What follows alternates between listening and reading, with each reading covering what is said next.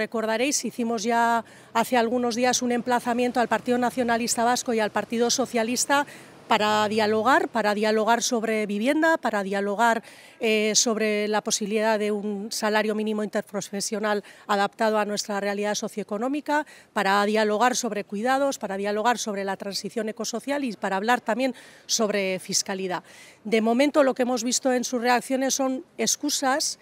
que marcan como una distancia entre esa retórica que nosotras pusimos en valor y la práctica política. Creemos que no es adecuado y que no es coherente estar apelando constantemente a la, a la cooperación, arrimar el hombro y al diálogo y luego orillar, arrinconar las posibilidades que se plantean en este sentido y también consideramos que no es adecuado ni coherente abrazar eh, los planteamientos de aquellos que están defendiendo sus intereses eh, propios y dejar de lado eh, arrinconar las propuestas de diálogo de quienes ponen en el centro este país, sus intereses y los intereses de la, de la ciudadanía. Nosotras seguimos eh, trabajando desde la perspectiva del convencimiento de que en Áraba, Guipúzcoa y Vizcaya se puede garantizar el acceso a la vivienda y que se puede establecer un salario mínimo interprofesional adaptado a nuestra realidad. Seguimos trabajando desde el convencimiento de que es necesario y que se puede intervenir el mercado de la vivienda para facilitar la la emancipación juvenil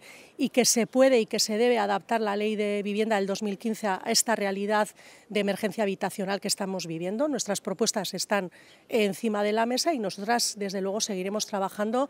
para, para poner en el centro de las políticas públicas este país, sus necesidades y las necesidades de la ciudadanía.